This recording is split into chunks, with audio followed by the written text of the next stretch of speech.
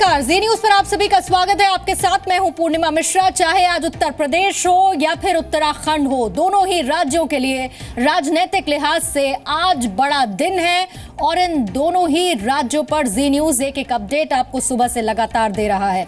उत्तर प्रदेश की राजनीति में आज क्या हलचल है? सुबह से आप खबरें देख रहे हैं। लेकिन अब बात करने का वक्त है उत्तराखंड की। उत्तराखंड में आज नए मुख्यमंत्री त्रिवेंद्र सिंह रावत अपने कैबिनेट के साथ शपथ लेंगे, जिसकी दो तस्वीरें हम आपको दिखा रहे हैं। शपथ समारोह में पीएम मोदी भी आएँगे। पहली तस्वीर उत्तराखंड के नए सीएम त्रिवेंद्र सिंह रावत के घर की है, पूजा अर्चना के दौरान की। दूसरी तस्वीर देहरादून के परेड ग्राउंड की है। तैयारियाँ चल रही हैं शपथ समारोह को लेकर। पीएम मोदी की मौजूदगी होगी और त्रिवेंद्र सिंह रावत मुख्यमंत्री पद की शपथ ग्रहण करेंगे।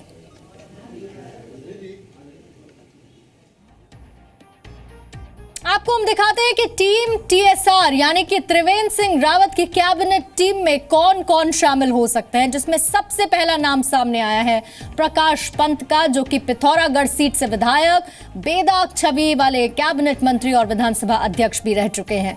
दूसरा नाम मदन कौशिक का है, हरिद्वार शहरी सीट से चौथी बार विधायक ये बने हैं। मैदानी इलाके में बीजेपी का ये बड़ा चेहरा है और आज ये भी कैबिनेट में शामिल हो सकते हैं। तीसरा नाम है हरक सिंह रावत का। कोटद्वार सीट से विधायक हैं। कांग्रेस से बगावत कर बीजेपी में शामिल हुए थे। चौथा नाम यशपाल आर्य का। बाजपुर सुरक्षित सीट से विधायक हैं। चुनाव से ठीक पहले कांग्रेस छोड़ी थी और बीजेपी का दामन थामा था। मुन्ना सिंह चौहान देहरादून की विकासनगर सीट से विधायक बने हैं और कांग्रेस के कद्दावर नेता नव प्रभात को इस बार के चुनावों में हरा दिया है। धन सिंह रावत श्रीनगर सीट से विधायक हैं और लंबे वक्त से आरएसएस के साथ, आरएसएस गतिविधियों के साथ, काम के साथ जुड़े रहे हैं। सुरेंद्र सिंह जीना सल सीट से लगातार तीसरी बार चुनाव जीत चुके हैं। फिर नाम आया सुबोध दुनियाल का नरेंद्र नगर सीट से ये विधायक बने हैं और कांग्रेस से बगावत कर ये भी बीजेपी में शामिल हुए थे। बंशीधर भगत, काला डूँगी सीट से तीसरी बार विधायक चुने गए हैं। पहले भी बीजेपी सरकार के दौरान ये मंत्री रह चुके हैं और इस बार भी इनका नाम सामने है। पुष्कर सिंह धामी खटीमा से दूसरी बार ये विधायक चुने गए हैं। तराई इलाके में बीजेपी के बड़े नेता के तौर पर ये जाने जाते हैं। पकड़ मज़बूत है इनकी। सौरभ बहुगुड़ा सितारगंज सीट से विधायक बने हैं। पूर्व सीएम विजय बहुगुड़ा के ये बेटे हैं। फिर ऋतु खंडूरी। ये यमकेश्वर सीट से विधायक बनी हैं। पूर्व सीएम भुवन चंद्र खंडूरी की ये बेटी हैं। इसके साथ ही हरवंश कपूर, स्पीकर के तौर पर देहरादून कैंट सीट से नौवीं बार ये विधायक बने हैं। बीजेपी के सबसे वरिष्ठ विधायक हैं और स्पीकर के तौर पर हरवंश कपूर का नाम सामने आ रहा है। ताजपोशी से पहले आज सुबह सुबह त्रिवेंद्र सिंह रावत अपने गाँव खैर सेड़ में जनता से मुलाकात करने के लिए पहुँचे और उस दौरान हमारी टीम भी वहाँ पर मौजूद थी उनसे बातचीत करने के लिए। त्रिवेंद्र जी, अपनी देवी देवताओं की स्तुति आपने की है। क्या मांगा है उत्तराखंड के लिए?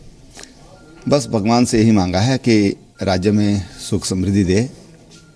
राज्य में पारदर्शी और एक सुशासन हम राज्य को दे सकें। गरीबों के कल्याण के लिए, युवा, महिला कल्याण और किसानों के कल्याण के लिए हम ठोस कुछ काम कर सकें। इतनी शक्ति है परमात्मा हमको देना। बस संघर्ष आप कर रहे हैं शुरुआत से संघर्ष से आप ऊपर बढ़े हैं और आप देवी देवताओं की स्तुति की भावुक भी नज़र आए। हालत में भावुक होने का कारण दूसरा था। जब मुझे पूछा गया कि आपने भगवान से क्या मांगा तो मैंने आज तक भगवान से अपने लिए कुछ नहीं मांगा।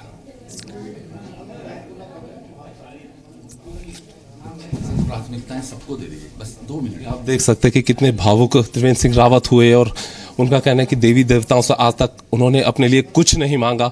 और ये बात करते हुए कुछ भावुक नज़र आए कैमरे से वो थोड़ा सा किनारे चले गए। अंदाज़ा आप लगा सकते हैं कि किस तरह का स्वभाव, किस तरह का नेचर उनका है। फ़िलहाल अब वो पार्टी के जो कार्यकर्ता हैं, उनसे बातचीत कर रहे हैं। तो उत्तराखंड के लिए बड़ा दिन है आज। दोपहर तीन बजे नई सरकार शपथ ग्रहण करने वाली है। उसकी तैयारियाँ चल रही हैं, उसकी तस्वीरें भी आपने देखी त्रिवेंद्र सिंह रावत ने कहा कि भगवान से उन्होंने अपने लिए कभी कुछ नहीं मांगा, लेकिन इतना तय है कि जनता बहुत कुछ मांगने वाली है और इसीलिए नई सरकार के सामने चुनौतियाँ क्या क्या है, ये रिपोर्ट आप देखिए।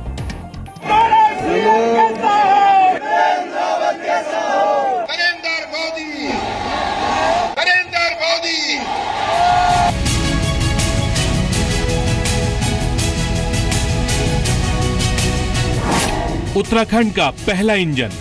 आप देखिए देखते ही देखते दोनों इंजन लग जाएँगे। दिल्ली वाला देहरादून वाला उत्तराखंड को तेज गति से आगे बढ़ेगा। ये मैं आपको विश्वास दिलाने आया हूँ। उत्तराखंड का दूसरा इंजन। ये ईमानदारी से चलने वाली सरकार होगी। दिल्ली में नरेंद्र। देहरादून में त्रिवेंद्र। ये दोनों इंजन मिलेंगे।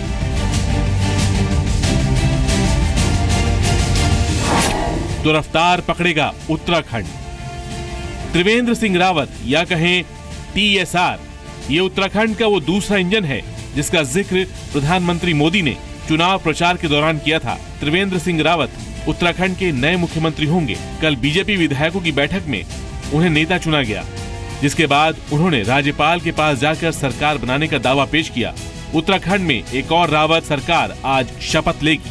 प्रधानमंत्री जी ने टारगेट दिया है कि हमको देश से गरीबी का उन्मूलन करना है।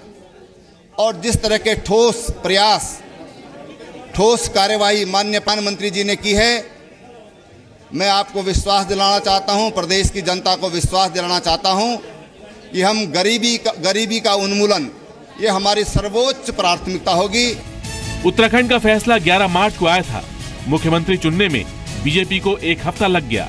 कई नाम कतार में थे लेकिन हाईकमान की मोहर लगी त्रिवेंद्र सिंह रावत पर। विधायक दल के नेता के नेतृत्व श्री त्रिवेंद्र सिंह रावत जी का नाम प्रस्तावित किया। त्रिवेंद्र सिंह रावत के शपथ ग्रहण समारोह में पीएम मोदी और बीजेपी अध्यक्ष अमित शाह भी शामिल होंगे। कि हम अपनी सरकार बनाकर आ रहे हैं। त्रिवेंद्र सिंह रावत हमारे मुख्यमंत्री आज बन चुके हैं। अलग से खासियत ये कांग्रेस सरकार ने बर्बाद कर दिया राज्य को हम उभारेंगे राज्य को। बेहतर सरकार चलाएँगे सब मिलजुल करके चलाएँगे। सत्तावन सदस्यों का हमारा प्रचंड बहुमत है। सत्तावन विधायकों का भारतीय जनता पार्टी का हमने पत्र राज्यपाल महोदय को दिया है। माननीय त्रिवेंद्र जी हमारे मुख्यमंत्री हैं और सर्वसम्मति से उनको चुना गया है। सत्तावन विधायकों के साथ और वरिष्ठ नेताओं के साथ त्रिवेंद्र सिंह रावत जी जो हमारे विधान दल ने, विधायक दल ने, जिन्हें नेता चुना है, उनके साथ सभी सत्तावन विधायक समर्थन ने राज्यपाल से मिले थे। राज्यपाल ने उनको आमंत्रित किया है त्रिवेंद्र रावत जी को कि वह आने वाली सरकार का कार्यभार संभालें।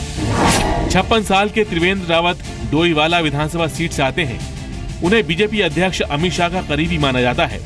झारखंड से पहले वो छत्तीसगढ़ के चुनाव प्रभारी भी रह चुके हैं। त्रिवेंद्र रावत उन्नीस से लेकर 2002 तक संघ से जुड़े रहे, फिर बीजेपी में शामिल हो गए। 2002 में वो सबसे पहले डोईवाला सीट से जीते। इसके बाद वो लगातार तीन बार वहाँ से विधायक भी रहे।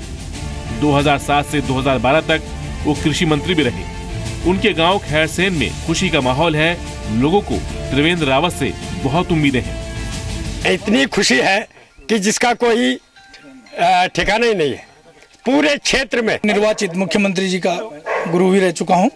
मैंने उनको कक्षा छह सात आठ में पढ़ाया इसी विद्यालय में। हम रावत परिवार में हैं और उनकी पत्नी सुनीता रावत हमारे साथ हैं बेटी श्रीजा भी हैं। उनसे जानने की कोशिश करेंगे कि वो इस खुशी के लम्हे को किस तरह से जी रही है कैसा महसूस कर रही है। निसंदेह परिवार वालों का भी सहयोग है लेकिन उनकी अपनी योग्यता भी है जिसके बलबूते पे वो वहाँ तक पहुँचे हैं। चाहती हूँ ऐसा मुख्यमंत्री बने कि जो उत्तराखंड का विकास कर सकें और उसको प्रगति के के पथ पर ले जा सकें। महिला होने के नाते क्या चाहेंगी महिलाओं के लिए किस तरह को? महिला के तौर पे आप क्या देखते हैं? उत्तराखंड में किस चीज़ की ज़रूरत है जिससे महिलाएँ और बेहतर उनका जीवन हो?